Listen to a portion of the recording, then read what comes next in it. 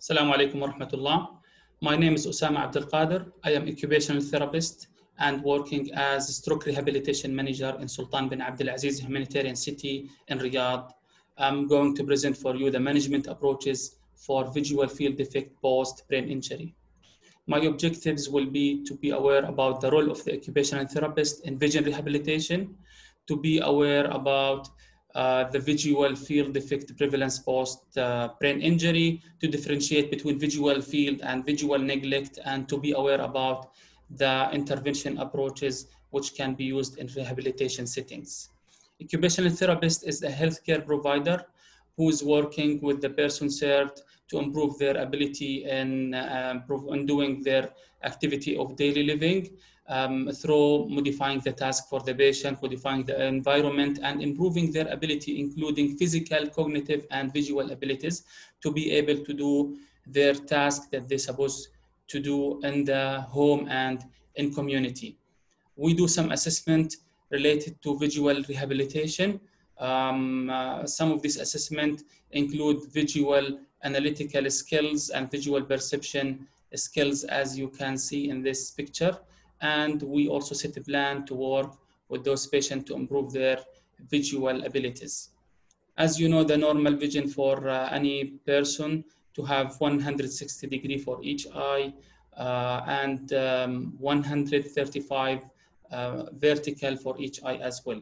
This could be disruptive or affected in the central vision or peripheral vision um, through many reasons like retinitis pigmentosa, glaucoma, cataract, and neurological disorder, which is um, my uh, topic today. This is uh, one of the reasons that can happen uh, for the, the patient when they are having brain injury to the right side of the brain, and the patient will not be able to see on the left side of their brain or vice versa. If there is any affectation for the optic um, tract, optic radiation, and uh, occipital lobe, and part of the parietal or uh, temporal lobe in the brain. As you see in, in this picture, it's illustrate where is the injury and how is the affectation for the visual field defect. Uh, research shows that the prevalence for the visual field defect is 20 to 30% in uh, neuro cases in general and 8 to 25% for stroke survivors. And it's more common if the patient having the injury in the right side of the brain. And still it can happen if somebody is having tumor, uh, infections, or any traumatic uh, injury for the brain. It will affect the activity of daily living for the people, not only reading, the, the um, activity of daily living for the simple task will be affected, job will be affected, ability for driving will be affected.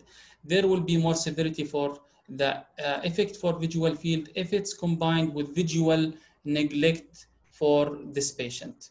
So we need to do assessment first of all. Our assessment will include history, taking the history of the patient, of the patient, observing them during evaluation, and taking input from their family, and doing the confrontation test. Other assessment can be done by the optometrist, and we can get feedback from the optometrist about their objective assessment that they're doing. This is the confrontation test. As you know, we identify which side of the brain is affected, and uh, then we can start implementing the intervention.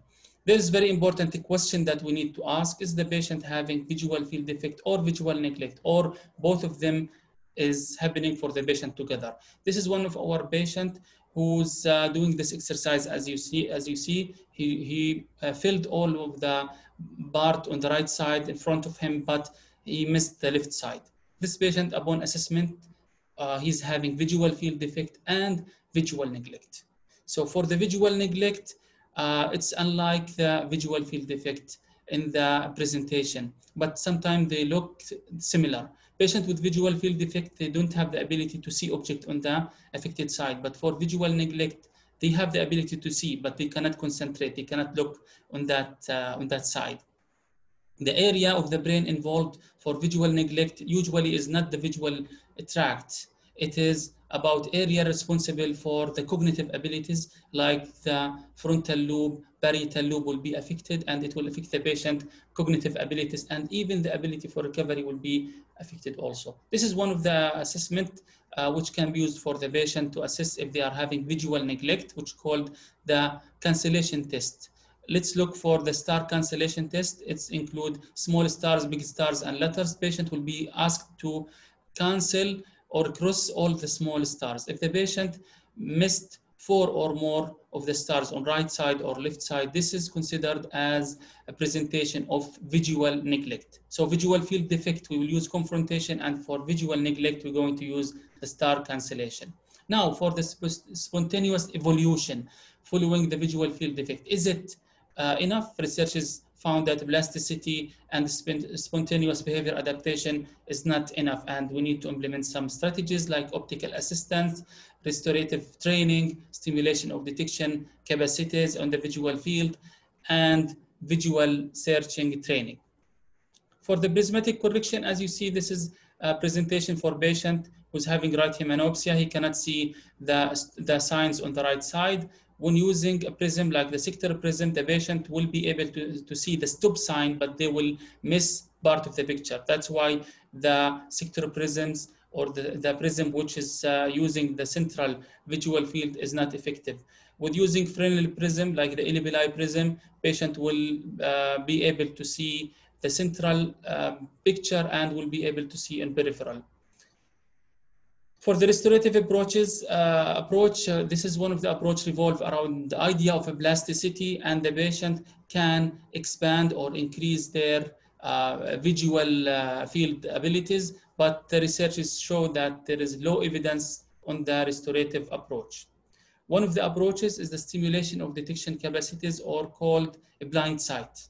This is one of the interesting approaches that we have some patient and we have some success story about it that those patients they uh, they did not lose their all of their visual ability after the brain injury because the injury it's in the brain not in the eye. The eye still can receive the stimulus and send them to the brain. They found that those patients they have some ability to detect localize and discriminate some of the object. This is one of our success story that we started with him stimulation using light pin light big objects and with high contrast on the affected side. At beginning this patient he told me please don't play with me. I don't i cannot see at all.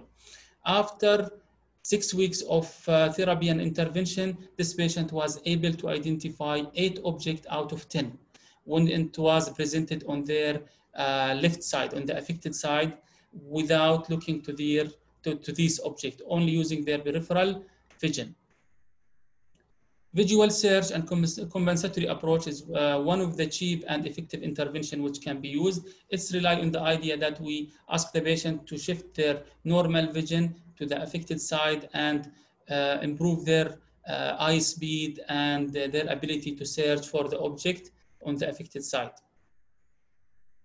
And we use also some, some machines and some technologies uh, through training the affected side and training the visual ability at the same time. There is very important emphasis also on the proper positioning during hospitalization and at home that we need the family to approach the patient from the affected side to uh, stimulate their ability for vision to the affected side and improve their eye movement. Uh, home visit or school visit need to be done by the occupational therapist to ensure that the patient is sitting in the proper way and the stimulus placed in the proper way as well for those patients. In conclusion, occupational therapist can assist the eye health care, eye health care team in the visual rehabilitation and both visual field and visual neglect need to be assessed to be able to identify the intervention. Compensatory technique, prisms, and blind sight stimulation is effective technique uh, when dealing with uh, visual field defect.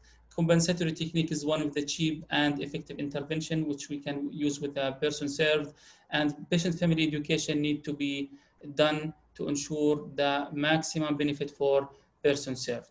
This is some of the helpful researches that I rely on um, uh, during my intervention and assessment. And this is my uh, references.